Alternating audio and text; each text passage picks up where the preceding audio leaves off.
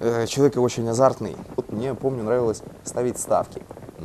Когда я был раньше на воле и когда я был в тюрьме. Тоже там какие-то мелкие ставки, что-то там на сигареты наставили.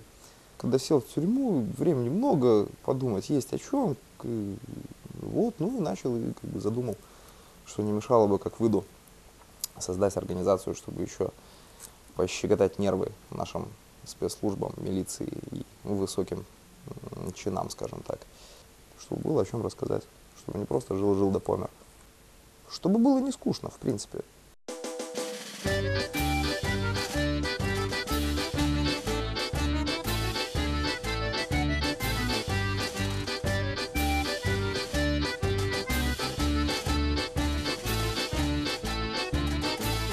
Проводишь акцию, и вот у тебя ставка, тебя найдут, не найдут, прокатит твоя акция в СМИ или не прокатит, понравится, не понравится. Вот как бы вовремя ты ее сделал или не вовремя. Цели я бы охарактеризовал примерно так. Э, разбавить креативом и юмором э, то унылое говно, которое сейчас творится э, в белорусской политике.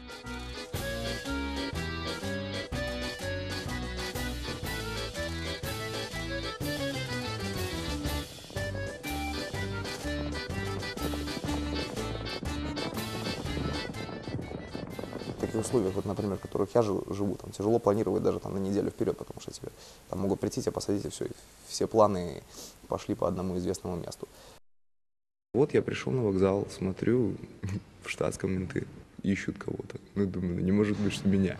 Ну вот, подошли потом, надели наручники, закрутили ласты, ну и повезли.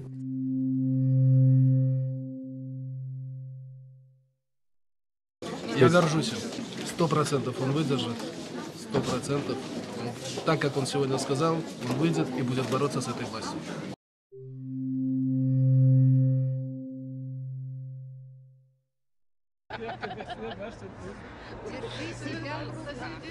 Отпустили меня через 8 месяцев и 10 дней. Я вообще ни капельки не жалею об этом. Такая серьезная школа, я когда вышел из тюрьмы, вот, почувствовал, что я стал на самом деле там, как минимум морально сильнее. Радий тебе бачити. Я Валентина. Віршую те, що ти навалив. Ти молоток, тримав питання. Просто стараємося. Для сьогодні коли гулять будемо? Я не знаю. Давай згуляємо. тут куча дел еще. Я подпольщиком себя ощущаю не так уже остро, как это было в 17-18 лет. Но, в общем-то, да, я могу сказать, что я белорусский подпольщик.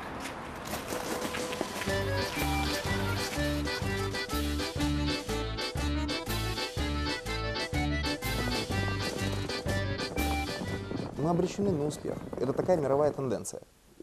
Просто диктатуры уходят в прошлое, приходит демократия. И диктаторы там либо их убивают свои, либо их убивает народ, либо их сажают там, в тюрьму. Мы обречены на успех.